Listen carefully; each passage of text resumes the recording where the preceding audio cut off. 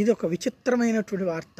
మరి ఆంధ్రజ్యోతి చెప్పాల్సి ఉంది ఇది సాక్షి వాళ్ళు వేశారు కాబట్టి ఎంతవరకు నిజమన్నటువంటి తెలియదు ఏంటయ్యా అంటే పొట్టి శ్రీరాములు నెల్లూరు జిల్లా కావలిపట్నంలోని ఆర్టీసీ బస్టాండ్ కూడలో శుక్రవారం నందమూరి బాలకృష్ణ అభిమానులు ఆంధ్రజ్యోతి పత్రిక ప్రతులను దహనం చేశారు.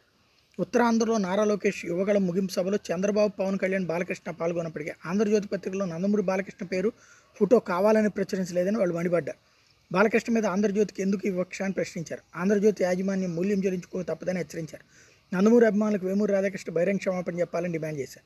నందమూరి అభిమాన సంఘం నాయకులు స్థానిక టీడీపీ నాయకులు చవల రామకృష్ణ నక్కా కృష్ణ అక్కిలగుంట సూర్యప్రకాష్ మద్దూరు రవి యాదవ్ తిరుపాల్ షరీఫ్ హనుమయ్య చౌదరి కాళేశ ఉప్పాల శ్రీనివాసులు గౌడ్ మహేష్ గునుపూడి మహేష్ గునుపూడి కృష్ణ సిహెచ్ మాల్యాద్రి కె సునీల్ సురేంద్ర తదితరులు పాల్గొన్నారన్నటువంటిది.